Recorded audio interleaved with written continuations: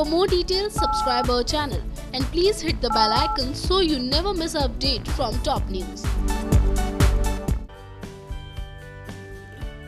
अब ये रिश्ता का कहलाता है कि कहानी में आप रोज़ाना देख ही रहे हैं कि हर घड़ी कार्तिक और नायरा एक दूसरे के और भी करीब आ रहे हैं और ऐसे में ही देखना होगा इंटरेस्टिंग जब ये बात आगे तक पहुँच जाएगी बिल्कुल और आखिरी में जाकर मालूम पड़ेगा जब स्वर्णा को तो वो क्या रिएक्शन देती है अपना और उसके बाद क्या कार्तिक और नायरा को एक बार फिर से जब वो मिल जाएँगे, उसको अलग करवा पाएगी वो?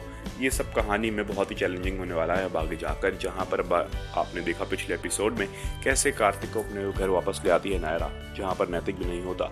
और ऐसे में दोनों साथ में ही होते हैं, जहाँ पर आपको बता दें कि सारे काफ़ी ज़्यादा परेशान होते हैं कि कार्तिक का फ़ोन लग नहीं रहा। जहाँ पर कार्तिक के फ़ोन से झूठा मैसेज कर देती है दादी को वो। पर ऐसे में आपने देखा कि कार्तिक कितना परेशान करता है उसको पूरी रात और साथ ही साथ। दूसरी तरफ़ आप देख रहे थे कि कैसे स्वर्णा काफ़ी ज़्यादा परेशान होती है कार्तिक के लिए और वो काफ़ी घबराई होती है। तभी वो बोलती है मनीष से कि वो दूसरी शादी कर देना चाहती है कार्तिक। की ऐसे में अब आप देखेंगे कहानी में आगे कि क्या कुछ होगा, ये पूरा का पूरा स्लॉट कैसे चेंज लेकिन ये भी जान लीजिए कि अब आने वाले एपिसोड में देखने वाले हैं आप कि कैसे कार्तिक के सामने ये वजह आ जाएगी कि आखिरकार नायरा डांस क्यों नहीं कर सकती। Top News report. For more details, subscribe our channel and please hit the bell icon so you never miss an update from Top News.